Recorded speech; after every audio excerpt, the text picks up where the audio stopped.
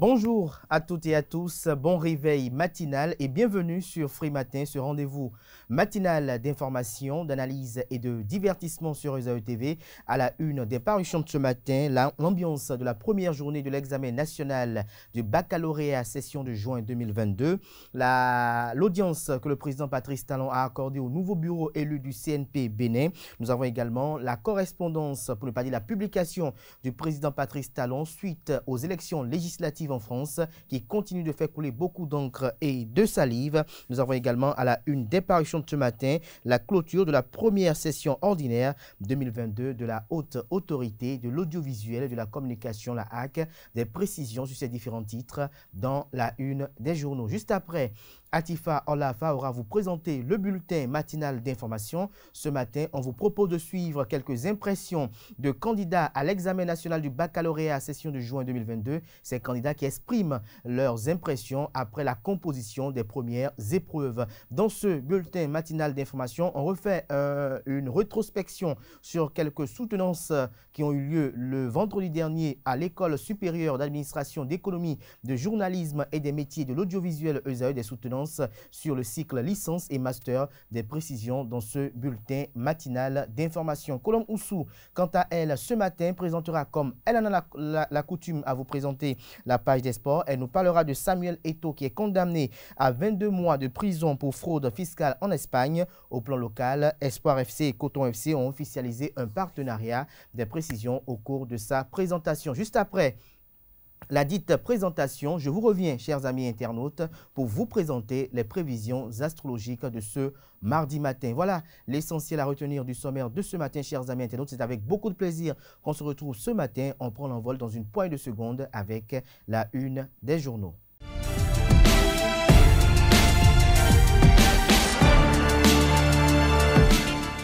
Bonjour à nouveau, chers amis internautes. Le quotidien Maison, l'informateur, titre ce matin en manchette.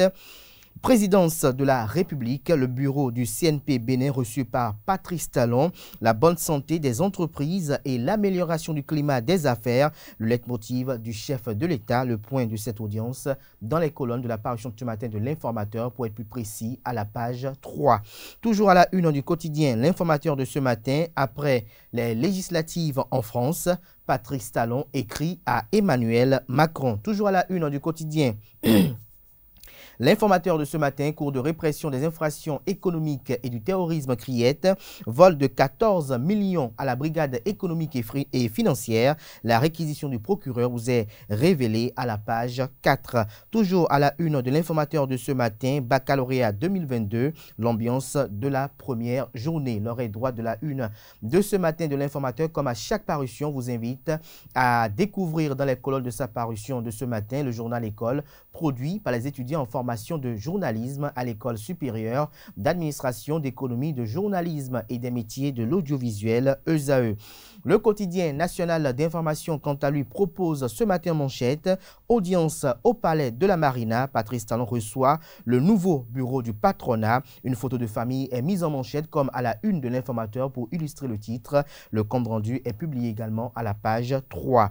Toujours à la une du quotidien La Nation de ce matin, sécurité numérique au Bénin. Lancy en campagne pour la protection des utilisateurs de Internet. Des détails sur ce titre à la page 9 de la parution de ce matin de la Nation, toujours à la une du quotidien de service public, clôture de la première session ordinaire 2022 de la HAC, plusieurs rapports examinés et six décisions prises, des précisions sur les rapports examinés et les décisions prises à la page 2 de la livraison de ce mardi matin. Le matinal, titre en manchette ce matin, polémique autour des rapports sur la gestion des fonds Covid. Un bon départ, estime le confrère pour la Cour des comptes. Le Canada fait savoir que les rapports de la Cour des comptes sur la gestion des fonds Covid continue de nourrir les polémiques jusqu'à mettre en doute l'indépendance de la haute juridiction. Pour ceux qui ne saisissent pas l'économie des différents actes justificatifs, la présidente Ismat Biochane et ses pairs sont déjà soumis au pouvoir en place. Une description ou une, ou une analyse qui augure de mauvais départ selon eux. Mauvais départ pour la Cour des comptes du Bénin selon les détracteurs du président Patrice Talon. Euh, seuls les, les détracteurs du président Patrice Talon répondront toute honte but par l'affirmative. La Cour Ismat Biochane, à propos du rapport sur la gestion des fonds Covid au Bénin, a joué sa crédibilité et a prouvé aux Béninois qu'ils peuvent inébranlablement compter sur elle. Ainsi dit, les justiciables de la haute juridiction en matière des comptes de l'État sont prévenus. Il n'y aura pas de subjectivité ni de magouille. Tout sera mis à nu dans les moindres détails tant que les justificatifs ne sont pas donnés ou trouvés. L'indépendance voulue et attendue de cette juridiction prend un bon envol pour le succès, estime le confrère. L'alerte donnée en est retentissante et constitue le gage d'une mission saine à exécuter par la magistrate Ismat Biochane et ses pairs, comme on le dit en pédagogie, le premier contact détermine la qualité de la relation.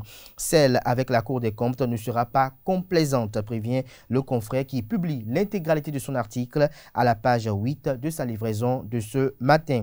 Toujours à la une de Le Matinal de ce matin, législative de 2023, une liste électorale informatisée fiable et consensuelle. L'autre défi, difficile équation de participation pour les petits partis politiques. Des précisions à la page 11 de l'apparition de ce matin du journal Le Matinal qui nous propose également comme titre ce matin à la une 80 14e, 94e réunion du Conseil de l'Assemblée générale de l'Ambois, l'adaptation des textes au temps et à l'espace au menu des précisions à la page 3. Le journal Matin Libre titre ce matin en manchette Législative de 2023 et survie des partis politiques, sur quoi compte restaurer l'espoir, dynamique unitaire pour le développement du Bénin et GSR, s'interroge le confrère. Le canard illustre son titre avec les photos des mentors de ces formations politiques.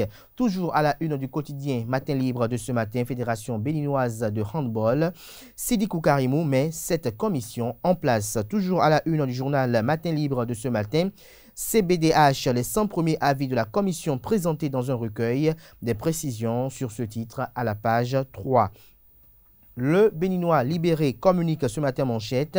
Définition de ses stratégies de combat pour les élections législatives à venir. Le cheval blanc veut rayonner de toute sa splendeur. Abdoulaye Biochane ne veut plus partager l'électorat avec quelqu'un. Des précisions sur le titre à la page 3. Conseil national du patronat du Bénin, le nouveau bureau présenté au président Patrice Talon, Eustache Kotengan, pour un patronat plus sérieux et plus crédible à la mesure des ambitions de notre pays. Des détails sur le titre à la page 5 de la livraison de ce matin du journal, qui publie également à la une ce matin, baccalauréat session du juin 2022. Luc Setondia-Tropo, maire de la ville de Cotonou et président de l'Association nationale des communes du Bénin, s'enquiert du bon déroulement des épreuves. Nous passons à présent au journal L'Indépendant qui titre ce matin la une bilan de l'an 1 de Talent 2. Ministère de la fonction publique et du travail, des réformes pour une administration efficace. Toujours à la une du journal L'Indépendant de ce matin, législative de 2022 en France, enseignement de Patrice Talon à Macron après l'échec de sa coalition. Éducation, titre ce matin, examen du baccalauréat 2022, moins d'absents dans les centres, retient le journal. Septième atelier régional du CEA Impact, acteurs et partenaires passent en revue les progrès réalisés. Nous passons à présent au journal L'autre vision qui titre ce matin manchette Au nom de la femme, l'ouvrage qui révèle la face cachée de Claudine Affavi Prudencio, la preuve que la présidente de l'Institut national de la femme maîtrise son sujet, communique le journal ce matin. Nous restons toujours à la une du journal L'autre vision de ce matin. Face à la fusion des salles de classe et le déficit d'enseignants, l'honorable Richard Alsoron interpelle le gouvernement. Il félicite le ministre de l'Enseignement primaire pour son éclairage. Des détails sur le titre dans les colonnes de la livraison de ce matin du Canard, l'autre vision. Le quotidien Le Grand Regard titre ce matin en manchette positionnement pour les élections législatives prochaines une première véritable épreuve pour les partis de la mouvance. Le journal fait savoir que les législatives de janvier 2023 s'approchent à grands pas. Et au niveau des partis politiques de la mouvance, certains leaders tentent de poser quelques actions pour marquer le terrain histoire, de s'attirer les regards des responsables de leur formation politique. Ainsi, chacun se bat dans la perspective d'être retenu sur la liste de son parti et à la bonne place. Mais au regard de la kyrielle de figures emblématiques qu'on retrouve au sein des deux partis politiques, pour ne pas dire au sein des deux grandes formations de la mouvance, dans certaines circonscriptions électorales, les positionnements s'annoncent comme une véritable épreuve de taille pour ces des formations politiques. Gestion des cantines scolaires, l'approche du Bénin devient un label mondial.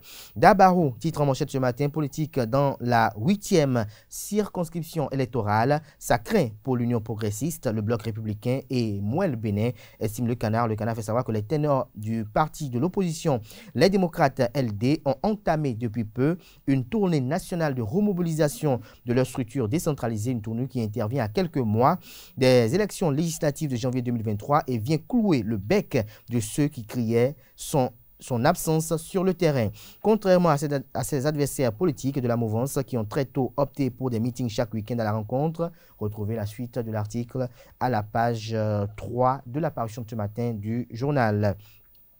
Le quotidien La Boussole publie ce matin soutien à la couche juvénile Sam Seydou Adambi en lutte permanente contre le chômage à Parakou. Des dizaines de jeunes sortis de la précarité. Toujours à la une du journal La Boussole de ce matin, après six ans de bonne gestion de la fonction publique et du travail, on peut se réjouir de la dématérialisation de la gestion de la carrière des agents de l'État, lire l'intégralité de l'entretien du ministre du Travail et de la fonction publique Adidjatou Matis retrouver l'intégralité, pour ne pas dire la transcription intégrale de son passage sur l'émission spéciale Le gouvernement en action dans les colonnes de la page ce matin du journal La Boussole. Toujours à la une du quotidien La Boussole de ce matin, baccalauréat 2022, 77 416 candidats ont été convoqués pour affronter les différentes épreuves. Le premier adjoint au maire ou la première adjointe au maire de la ville de Porto Novo, Rachida Toutoukuru, lance les épreuves au lycée technique de Porto Novo. Le chasseur info titre ce matin en manchette Hommage. Le ministre Éléonore Yaïla Descamps et le rectorat de l'Université d'Abomey-Calavi au domicile du feu Théophile Nata des précisions sur les hommages rendus à l'illustre disparu à la page 5 de l'apparition du matin du journal. Dans l'oreille droite de la une, ce matin nous informe que la haute autorité de l'audiovisuel et de la communication AC autorise 8, nouvelles stations radio. Nous passons à présent au journal Décryptage Info.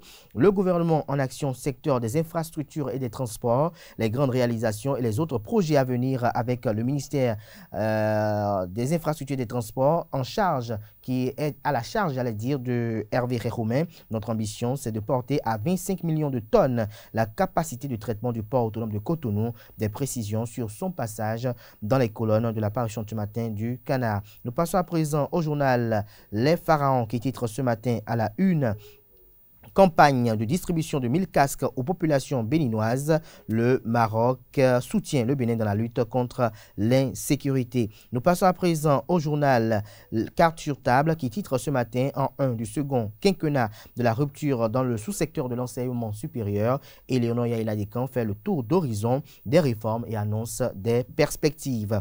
Toujours à la une du quotidien Carte sur table de ce matin, démarrage du baccalauréat session de juin 2022, les épreuves écrites au officiellement lancé au Collège d'enseignement général 1 de Ouida. Nous restons toujours à la une du quotidien carte sur table de ce matin, soutenance de mémoire de master à l'Université d'Abomey-Calavi, Marie-Ornelia Dassi, désormais ingénieure de conception en génie chimique et procédé.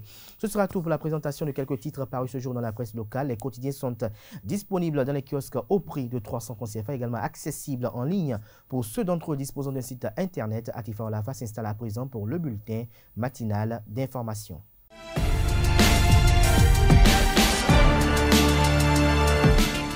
Bonjour à toutes et à tous, heureuse de vous retrouver. Bienvenue dans ce bulletin matinal d'information.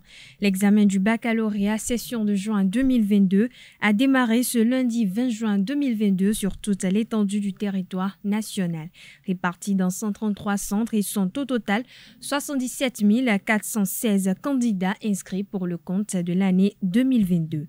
Après la composition des premières épreuves écrites, les candidats au CEG Saint-Rita ont livré leur impression. Ils sont au micro de Aneldo. Euh, c'était très bien. Bon, euh, le sujet était abordable. Euh, on a pu s'en sortir. Pour moi, ça a été abordable. C'était, c'était, c'était relax. On a composé français. Français, il y avait trois sujets de contraction, de commentaires, de dissertation. J'avais pris le sujet de contraction parce que c'est ce qui me semblait le plus abordable. Il y avait, il y avait trois sujets. Bon, euh, deux sujets portaient sur le sous-développement Et il y a un autre sujet qui, bon, qui portait sur un truc épique, quoi. Un peu comme le truc romancier, tout ça. Moi, personnellement, j'ai composé euh, dissertation. Dissertation. Bon, c'est ce que je fais d'habitude, donc je n'ai pas le choix, c'est ça que j'ai fait. Pour les épreuves de ce matin, c'était français. Euh, maintenant, il y avait trois sujets au choix. Il y avait contraction de test, dissertation et puis commentaire. Moi, j'ai pris la contraction de test parce que j'ai trouvé ça plus abordable que tous les autres. C'était basé sur la, la valorisation des cultures endogènes et euh, de plus s'appuyer sur la formation euh, technique et manuelle que la formation professionnelle et intellectuelle. Effectivement, en Afrique, on néglige beaucoup les, les formations manuelles et techniques au profit des autres euh, formations euh, où on étudie la biologie, la philosophie, mais ça ne développe pas le pays en fait. Je crois bien que ça a changé ma mentalité, ça va me pousser à plus m'investir du côté euh, manuel et technique. J'ai fait le dernier sujet, qui était le sujet 3. Bon, ça portait principalement sur le sous-développement en Afrique. Donc j'ai pu m'en sortir parce que j'avais plein d'idées là. Quoi. Donc j'avais assez, assez d'idées là. Donc je suis sûr de pouvoir m'en sortir à la fin. Le président de la République, Patrice Talon, a reçu à son cabinet ce lundi 20 juin 2022 les nouveaux membres du bureau du Conseil national du patronat du Bénin, CNP Bénin. En prélude à leur installation officielle prévue pour ce mardi 22 juin 2022, les membres du bureau exécutif du CNP Bénin élus le 25 mai dernier ont été présentés au chef de l'État ce lundi 20 juin 2022. Nous avons remis au président de la République un document dont le contenu se présente en neuf points qui constituaient nos doléances, a indiqué le président du CNP Bénin, Eustache Kotengan, à l'issue de l'audience. Les membres du bureau exécutif du CNP Bénin feront leur prestation de serment ce mardi 22 juin 2022. Une occasion pour l'organisation patronale du Bénin de présenter au public les 25 membres de son conseil d'administration élu à l'Assemblée générale le 25 mai dernier. Parlons justice à présent. La Cour de répression des infractions économiques et du terrorisme Criette a requis 10 ans de prison ferme et 5 millions de francs CFA d'amende contre la fonctionnaire de la brigade économique et financière Dalila Bissaloui. Cette dernière poursuivie pour vol de 17 millions de francs CFA à la BEF. Au cours de son audience ce lundi 20 juin 2022, la mise en cause a reconnu avoir soutiré la somme de 14 millions et non 17 millions. Le dossier a été mis en délibéré pour le 18 juillet prochain à l'issue des débats et réquisitions. Notons que cinq ans de prison ferme ont été également requis contre le conjoint de Dalila Bissaloué, poursuivi dans la même affaire. La seconde vague de soutenance à l'École supérieure d'administration, d'économie, de journalisme et des métiers de l'audiovisuel ESAE a eu lieu ce vendredi 17 juin 2022. Parmi les impétrants ayant obtenu la mention bien avec félicitations du jury pour le master professionnel figure Nansirine Fatoumbi, élément signé Colomboso. Apport de la presse béninoise dans la promotion de la vaccination contre la COVID-19, cas du quotidien L'Informateur. C'est le sujet défendu par Nansrine Fatoumbi au cours de sa soutenance de master professionnel en journalisme à l'École supérieure d'administration de l'économie de journalisme et des métiers de l'audiovisuel ESAE ce vendredi 17 juin 2022 devant un jury présidé par Clémentine Locono. L'impétrante a défendu avec brio ses travaux de recherche. Apporter une contribution à la population, aux citoyens, à nos lecteurs pour qu'ils sachent un peu plus sur la vaccination de la COVID-19. On fait des recherches, par exemple, même des, des interviews à des médecins. On a aussi remarqué dans notre environnement qu'on a de moins de médecins en santé, même aussi de spécialistes. La qualité du document et sa présentation ont séduit les différents jurys qui ont validé le mémoire de fin de formation de Nansrine avec la mention bien. Après sa soutenance, Nansrine Fatoumbi s'est réjoui du résultat obtenu. C'est pas facile de finir en cinq années, d'étudier la licence, finir avec la licence et d'entamer en même temps avec le master. Voilà, je viens de finir avec le master, que de belles opportunités s'ouvrent à moi à partir de ce jour. J'ai une mention bien, bon, c'est pas mal, je suis satisfaite même si c'est pas ce que ce à quoi je m'attendais. Je m'attendais à une mention très bien. Les appréciations des membres du jury n'étant pas mal, à moi maintenant de me mettre au pas, apporter les corrections telles qu'elles ont demandé pour pouvoir être au pas et pour que d'autres qui viennent derrière moi puissent utiliser mon document comme référence pour les années qui viennent.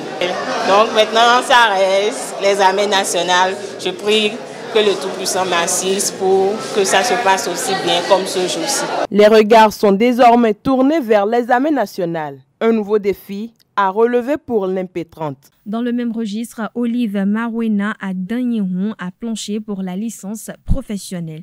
Elle a effectué ses recherches sur le code du numérique et l'exercice du journalisme en République du Bénin cas du journaliste Ignace Sossou.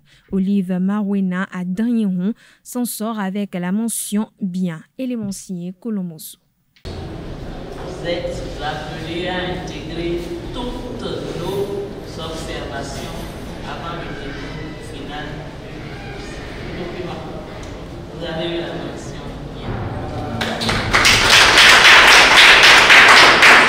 Ces travaux de recherche sont portés sur le code du numérique et l'exercice du journalisme en République du Bénin, cas du journaliste Ignace Sossou. Il a fallu une trentaine de minutes à Olive Mawena à pour défendre ses travaux face à un jury très aguerri. Il a préféré diffuser les propos du procureur sur sa page Facebook au lieu de remettre ces informations à son organe de presse, avec l'organe avec lequel il travaille. C'est cela surtout qui a joué en sa faveur. Et en plus, dans les enquêtes, j'ai constaté aussi, ce sont des hypothèses que j'ai mises, qu'il n'avait pas sa carte de presse aussi. Et dans, au cours de, de mes travaux aussi, j'ai eu à prendre la décision de condamnation de Ignace auprès de son avocat. Donc, dans le document, ils ont fait part de ce que lorsqu'ils publiaient l'information sur les réseaux, le journaliste peut être suivi et condamné sur la base du code numérique ou bien peut être poursuivi sur la base du code de l'information et de la communication. Donc c'est en fait le lien que j'ai établi entre le code numérique et le code de l'information. Clarification conceptuelle, revue de la sont toujours ensemble parce que c'est l'aspect conceptuel de votre travail qui nous permettra, sommes de notre courant, de ne pas venir ici vous emmerder avec vos conceptions, de ne vous lire que dans le courant dans lequel vous allez choisir de faire votre, votre étude. À la fin de sa soutenance, Olive a expliqué les raisons qui l'ont motivé à choisir un tel sujet. Ce qui m'a motivé à choisir ce sujet, c'est le fait que lorsque le journaliste a été condamné, beaucoup de personnes, j'ai lu sur les réseaux sociaux, sur Internet, que beaucoup de personnes, même Reporters sans frontières, disaient que le code du numérique limite la liberté de presse. Donc je voulais savoir en fait qu'est-ce qui s'est réellement passé? Pourquoi Ignace, en tant que journaliste, puisque le code de l'information et de la communication ne prévoit pas, ne prévoit, ne prévoit pas des peines de prison sauf en cas de, délit ou bien de délit contre la chose publique. Donc quand j'ai appris cela, je me suis dit, mais pourquoi Ignace a été condamné au regard du Code de l'information et de la communication? L'impétrante peut désormais pousser un ouf de soulagement. Elle ressort avec le diplôme de licence professionnelle en journalisme. Au-delà des distinctions et reconnaissances, Olive a plusieurs autres objectifs qu'elle compte bien atteindre. Pour finir, le secrétaire général adjoint du ministère du cadre de vie et du développement durable, Delphin Haïdji, est décédé après un mois environ passé au poste. Secrétaire général adjoint du ministère de l'Environnement jusqu'en 2008, Delphin Haïdji a été nommé, au ministère du cadre de vie et du développement durable le 11 mai 2022. Il fut directeur de la programmation et de la prospective au ministère. Delphin Haïdji a été également point focal Fonds pour l'environnement mondial du 10 ministères. Le ministère perd ainsi un deuxième cadre après la directrice du cabinet Jeanne Akasha Akora, décédée en juillet 2021 des suites d'un accident de circulation. Voilà, chers internautes, c'est tout pour ce bulletin matinal d'information. Merci pour votre attention. D'ici là, portez-vous bien. Merci à vous, Atifa Olafa, pour cette présentation du bulletin matinal d'information. Chers amis internautes, la grande édition du journal télévisé ce soir est prévue pour 19h. Ce sera une présentation de Billy Gaël Laibi. Place à présent à la page des sports de ce matin sur Free Matin. Amis sportifs, bonjour. Espoir FC et Coton FC ont officialisé leur partenariat pour le développement du football féminin à travers un match de gala entre les joueuses doubles championnes du Bénin et les staffs des deux clubs le samedi 18 juin 2022 au stade municipal de Ouida. Une rencontre qui s'est soldée par la victoire à l'arraché de l'équipe des dirigeants 5 buts à 4 reportages. C'est Ondelarius Adjagüeno. Espoir FC et Coton FC scellent le partenariat établi entre les deux clubs afin de développer le football féminin à travers un match d'exhibition au stade municipal de Ouiga. Le ministère et la fédération avaient demandé aux clubs professionnels de parrainer une équipe féminine, étant dans la dynamique du développement du football féminin. Alors nous avons eu la chance d'être parrainés par Coton. C'est pour cette raison à la fin de la saison, nous avons voulu que le staff de Coton, joint au staff de Espoir, joue un match de gala contre les filles, juste pour les féliciter, parce qu'elles ont une deuxième fois réédité l'espoir. Pour nous de se retrouver comme ça et de faire un petit match euh, contre l'équipe féminine, c'est sûr que bon, ça, déjà ça fait plaisir. Puis ensuite, bon, ben, ça nous permet aussi d'évacuer un petit peu une saison qui a été longue et stressante. Et puis ben, de retrouver le terrain, de pouvoir s'amuser un petit peu, de jouer et tout. Euh, ça amène un petit peu aussi euh, un peu plus de connaissances aussi parce que bon, euh, c'est vrai que ces deux clubs, on est assez éloignés, mais en fin de compte, c'est deux, clubs qui sont très proches les uns des autres.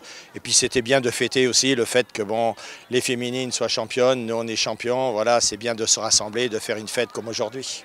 Avec 13 victoires et 5 nuls en 18 journées lors de la saison 2021-2022, Espoir SC est sur une série d'invincibilité de 36 matchs sans défaite. Dans le duel contre les dirigeants, l'expérience a eu raison de Leila Afo et ses coéquipières. Elles se sont inclinées 4 buts contre 5 après avoir mené 4-2 à la mi-temps. Tous ceux qui entourent Espoir ou Coton ont une fois pratiqué le football. Certes, nous n'avons pas les conditions physiques comme les, les filles, mais l'expérience est là. Vous-même, vous, avez constaté avec euh, le public. Donc, euh, nous avons mis notre expérience en jeu et nous étions très sûrs que malgré le score à la première partie, on était sûr qu'à la reprise, nous allons renverser la tendance. Et ce qui a été fait après ce match de gala, les joueuses disposent d'un mois environ de répit afin de revenir requinquer pour préparer la Ligue africaine des champions d'âme. Nous donnerons à partir de ce soir deux semaines de congé aux filles et on reprend au niveau euh, des entraînements, des préparatifs déjà début juillet.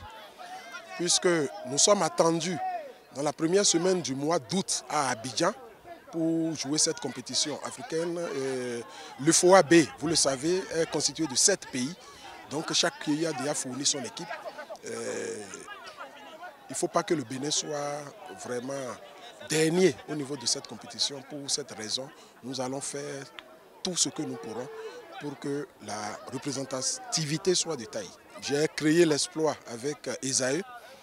Je sais ce que c'est qu'une compétition africaine, mais cette fois-ci, c'est au niveau des femmes, nous allons essayer de faire ce que nous pourrons pour que ça puisse euh, euh, marcher et que nous ayons une très bonne représentativité. Pour ce faire, le staff d'Espoir peut compter sur l'appui de la direction sportive de Coton FC. C'est essayer de voir un petit peu comment on pouvait euh, bah, se structurer ensemble, les aider, leur donner des conseils, voir un petit peu l'approche. Puis après, maintenant, ça va être avec mes dirigeants et puis euh, naturellement le président euh, d'Espoir de voir un peu comment on peut améliorer encore les structures pour que l'équipe soit encore plus performante. Voilà, donc essayer de, retrouver ce que l'on a mis chez nous, c'est-à-dire peut-être faire venir un kiné pour eux au, au quotidien, peut-être aussi leur apporter plus de matériel pour travailler, leur apporter aussi des équipements parce que bon, quand tu représentes le Bénin et que tu es champion, tu dois avoir une certaine structure et, donc euh, avoir une image de marque. Et je pense que de ce côté-là, il faudra un petit peu euh, les aider et voir un petit peu comment on peut s'améliorer encore un peu plus. L'exhibition entre joueuses d'espoir et staff des deux clubs partenaires s'est achevée avec la remise symbolique de trophées.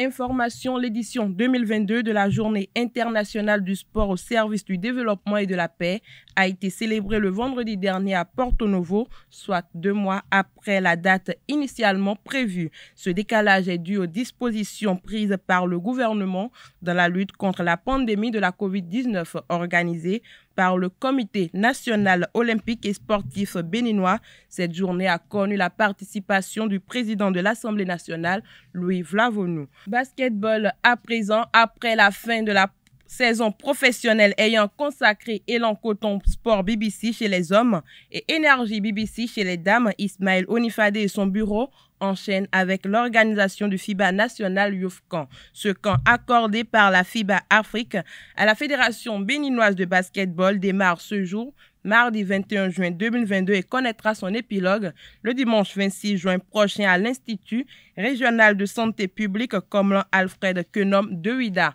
FIBA National Youth Camp regroupe des jeunes joueurs élite et entraîneur de jeunes du Bénin dans une clinique. À travers ce camp, la FIBA veut créer les conditions pour les fédérations africaines de détecter des talents et de pouvoir améliorer la formation des jeunes joueuses, joueurs et entraîneurs, mais également de pouvoir proposer les futurs participants au FIBA Regional Youth Camp et Basketball Without Borders.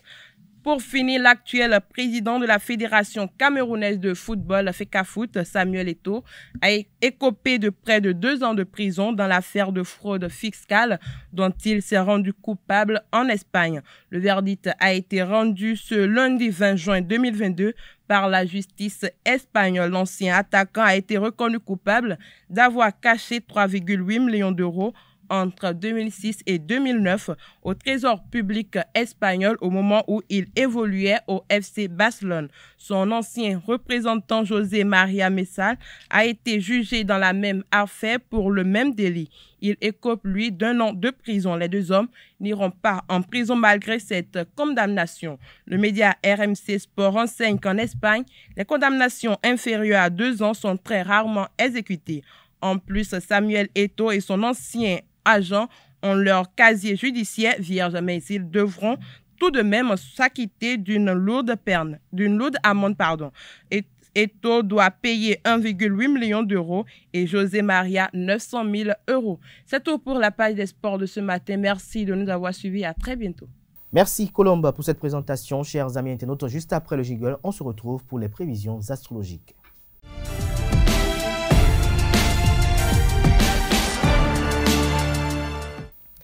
Chers amis natifs du signe bélier, à propos de l'humeur, journée plutôt passable, à propos de la santé, vos bonnes défenses immunitaires vous protègent des attaques virales. En revanche, vous devez lutter tout seul contre votre gourmandise et pour l'instant, vous n'êtes pas en passe de gagner. Par rapport à l'argent et le travail, vous accomplirez vos tâches sans grand plaisir, mais, sans rechigner. Vous aimeriez bien faire évoluer votre situation professionnelle, mais pour l'instant, vous ne savez pas vraiment ce que vous voulez. Faites un effort pour équilibrer votre budget. Vous ne pouvez pas tout avoir. Il faut faire des choix du côté de l'amour en famille. Vous ne serez pas vraiment prêt à faire des concessions, surtout si vous avez des enfants. Une dispute est plus que probable et il est bien possible que vous la provoquiez. Célibataire, vous tenez à votre liberté, pourtant vous rêvez de fonder une famille.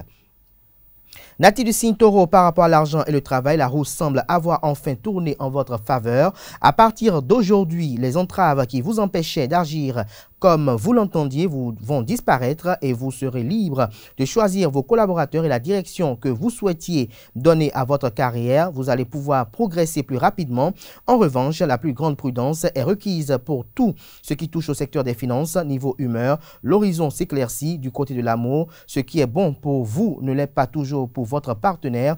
Apprenez à mieux concilier vos points de vue. Vous devrez vous mettre plus ouvert si vous voulez que votre vie de couple s'améliore un petit compromis. De temps en temps, ce n'est pas la mer à boire. Si vous êtes euh, un cœur à prendre, vous pourrez compter sur vos amis pour vous empêcher de baisser les bras ou de tomber dans la nostalgie. Concernant la santé, évitez les excès de table. Votre foie ou votre estomac vont finir par se rebeller. Votre gourmandise les épuise. Un petit régime serait bienvenu. Chers amis natifs du Gémeaux, en amour, vous ferez tout pour que votre partenaire se sente bien auprès de vous. Vous serez aux petits soins. N'en devenez pas envahissant. La vie de famille s'annonce agréable et sans problème. Célibataire, votre bonne humeur sera communicative par rapport à l'argent et le travail. Vous tenez à vous imposer dans votre milieu professionnel, mais prenez garde à ne pas multiplier les maladresses en voulant trop bien faire. Ne changez pas toutes vos habitudes. Un problème administratif pourrait retarder un remboursement ou une rentrée d'argent que vous attendez avec impatience. À propos de l'humeur, vous en faites trop du côté de la santé, risque de migraine dû au stress. Vous devrez trouver le moyen d'évacuer la tension nerveuse que vous accumulez depuis quelque temps. Dans l'ensemble, vous êtes plutôt en forme. Faites en sorte que cela dure.